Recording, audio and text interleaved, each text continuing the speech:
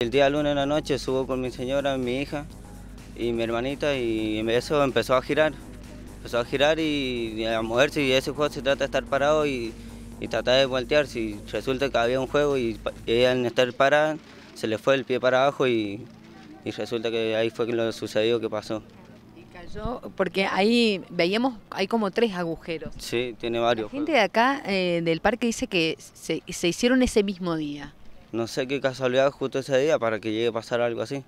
Hace rato ya viene eso y, creo que si tienen fotos, tienen agujeritos por todos lados que se ha hecho así, que ya venía todo eso así.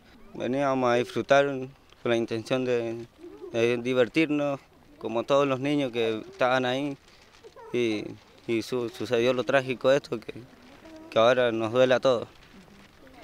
¿Ustedes por qué no advierten la presencia de estos agujeros cuando entraron? No nos dimos cuenta, yo no me di cuenta. Yo me di cuenta cuando mi hermana empezó a los gritos, que estaba al lado mío y que empecé a gritar para que pararan eso y, otra que no tenía buenos frenos para, para, parar en la máquina. Estuvo un rato largo andando hasta que paró y ella con el pie cortado. O sea, ella se quedó enganchada en ese, en ese hueco, digamos, y que empezó a gritar. Y empezó a gritar y... ¿Cuánto tiempo estuvo hasta que paró la máquina? Sí, ahora está unos 20 segundos más pues tardó en frenar en la máquina, tardó bastante en frenar. Y ella con la mano en el pie, agarrándose en los dedos porque los tenía cortados. Podría haber pasado a cualquier niño chiquito que estaba ahí. Creo que si agarra un niño chico de los que estaban ahí, se lo lleva para abajo eso.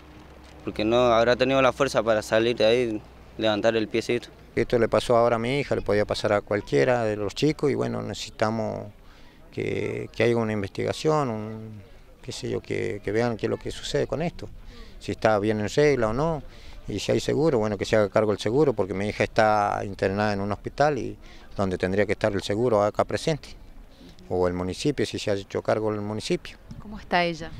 Y ella está bastante jodida, están con que no saben si va a perder el pie o no, así que ahí estamos en eso. ¿Cuáles son los daños que le ocasionó esto de meter el pie en ese lugar? Y el daño que tiene que le cortó casi todos los dedos.